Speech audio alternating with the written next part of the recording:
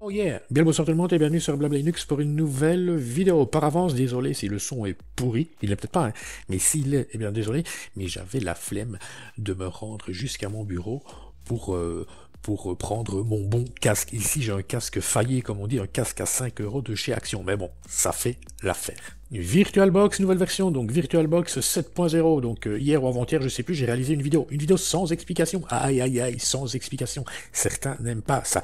Quand je dis sans explication, il euh, n'y a pas d'explication voix, mais il y a des explications textuelles, mais malgré ça, certains n'aiment pas. Pourtant, il n'y avait pas grand-chose à comprendre. Hein on va cliquer sur Nouvelle pour Nouvelle Machine Virtuelle. On va préciser un nom. Pour ma part, ce sera Ubuntu. Alors, le répertoire d'installation, il est bon. L'image ISO, je vais utiliser l'image ISO de Ubuntu 22.04.1, type Linux. Version, eh bien, je vais chercher donc Ubuntu 22.04. Sachez que cette nouvelle fonctionnalité fonctionnera, hein, donc marchera avec Ubuntu, avec les variantes officielles d'Ubuntu et les bases Ubuntu. Pour le reste, euh, je ne pense pas, ou alors tester. Alors on peut skipper ce mode d'installation, hein, donc le, mode d'installation sans attendre, mais je ne veux pas le skipper puisque je veux vous le présenter. Alors ici, il y a déjà un username, un password, un hostname et un nom de domaine de préciser, mais cela on peut le modifier. Ok, voici le mot de passe. Regardez-le et retenez-le. Ou alors vous, vous mettez un mot de passe personnel, d'accord? On peut également demander à ce que l'installation se passe en arrière-plan, en background.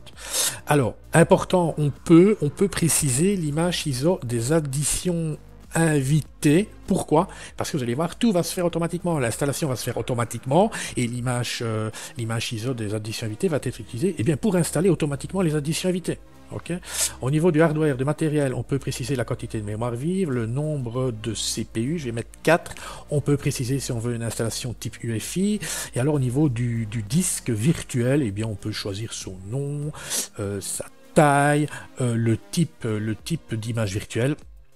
On peut demander à ce que le, disque, euh, la taille du disque soit préallouée ou non. On peut splitter le disque en partie de, en plusieurs parties de 2 gigas. Enfin, voilà, on peut, on peut quand même, euh, on peut quand même euh, modifier certaines options. Je ne sais pas si je l'ai dit, mais voilà, ce qu'il faut savoir, c'est que euh, cette nouvelle fonctionnalité est encore euh, n'est pas au point pour moi parce que vous allez voir, si vous passez par cette nouvelle fonctionnalité, l'installation va mettre trois fois plus de temps que que d'habitude. Ok, ça c'est un point négatif, mais qui je pense sera bientôt corrigé. Et alors, autre point négatif, si on peut, si on peut, euh, avant de procéder à l'installation, modifier certaines options, il y a une voire deux options euh, qu'on ne peut pas modifier et c'est dommage, c'est le choix de la langue et le choix de l'entrée clavier. On va se retrouver avec euh, une installation en anglais avec euh, une entrée clavier anglaise, donc en QWERTY. Ok, la langue je m'en fous, mais dommage qu'on peut pas choisir l'entrée clavier.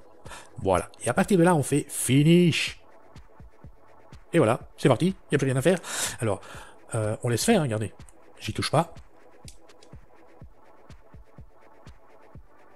Ça démarre, et regardez ce qu'on peut faire. Euh, on va faire ceci. Euh, tac. Activité. Activité overview. Voilà. on va faire comme ça. Voilà. Et on va faire comme ça. Voilà. Et on laisse faire.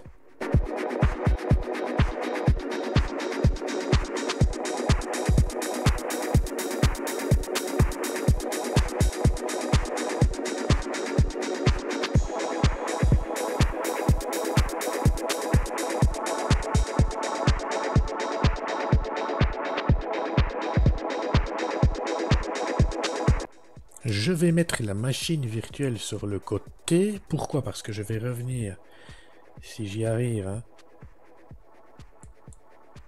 je devrais... C'est pas évident. Voilà, un affichage plus classique. Plus classique, c'est ça. Voilà, maintenant je peux remettre la machine virtuelle ici.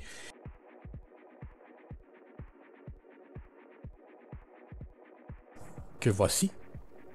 Et vous allez voir pourquoi je passe par la machine virtuelle pour obtenir des informations sur la session, parce que regardez, on a un retour sur la, mémoire RAM utilisée par la machine virtuelle. Et là, vous allez me dire, ben, c'est bizarre, il n'y a pas de graphe. Il n'y a pas de graphe parce que pour obtenir un retour hein, sur les ressources RAM utilisées par la machine virtuelle, il faut que les additions invitées soient installées dans la machine virtuelle. Et vous allez voir, les additions invitées vont s'installer automatiquement. ok? Et on va voir quand. D'ailleurs, on peut voir, regardez, tant que le mode intégré est grisé, et tant qu'on n'a pas un, graphe, donc ici, concernant la, la mémoire RAM de la machine virtuelle, eh bien c'est que les additions invitées ne sont pas encore installées.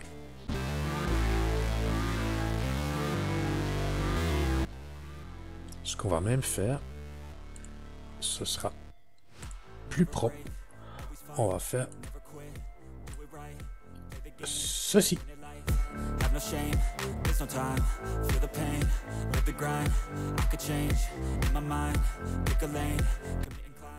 Installation terminée. On a pu voir que le graphe ici de la mémoire RAM de la machine virtuelle précisait pour que je puisse fonctionner, eh bien, il faut que les additions invitées soient installées. Et là, on va voir qu'ils vont s'installer automatiquement. Une fois que vous allez voir le graphe s'exciter ici, eh bien, c'est que les additions invitées sont installées.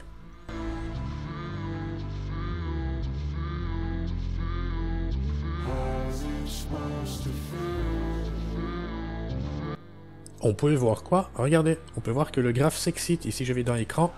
C'est toujours en mode intégré, mais je vais me connecter. Donc, le mot de passe, c'était Change Me en anglais. Mais attention, sur mon clavier, ça va faire C, H, Q, N, G, E, virgule E.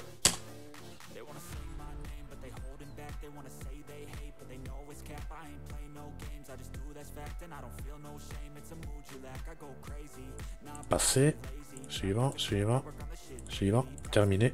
Et normalement, écran, voilà, le mode intégré n'est plus grisé. Et de toute façon, le métrique ici euh, est OK, ça veut dire que les additions invitées, ben, sont bien installées, c'est cool. Et bien entendu, bien entendu, hein. donc vous pouvez euh, éteindre la machine virtuelle, je rappelle donc VirtualBox, rentrer dans la configuration de cette dernière et ensuite, hein, ensuite peaufiner donc le tout. Ce que je vais faire maintenant. Ici c'est bon, processeur c'est bon, j'active PANX, accélération c'est bon, affichage je vais mettre 64 mégas, je pourrais même activer l'accélération 3D, le reste est bon. Ah, le stockage, je vais activer le cache en écriture, donc pour le contrôleur SATA, le VDI je vais lui dire et euh, SSD, et le reste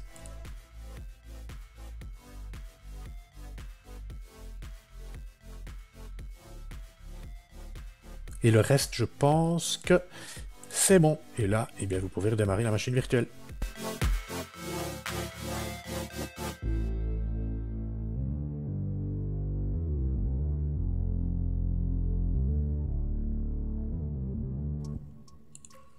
Donc c'est H euh, Q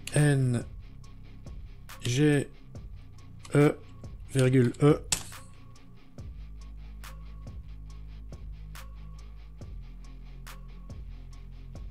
Voilà. Hop, on bascule en full screen, mode fenêtré. Magnifique. Allez, moi je dis bye bye prochaine. Ciao, ciao.